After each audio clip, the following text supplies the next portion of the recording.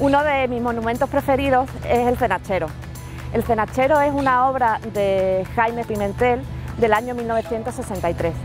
Los cenacheros eran hombres que vendían pescado fresco por la ciudad de forma ambulante y lo hacían mediante estos cenachos que eran unas puertas de esparto donde metían los alimentos. Al pie del monumento hay unos versos de Salvador Rueda eh, que hablan del cenachero. Allá van sus pescadores, con los oscuros bombachos, columpiando los cenachos con brazos cimbradores.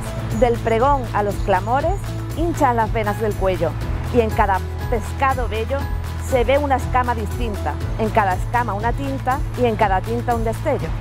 Hacemos Málaga.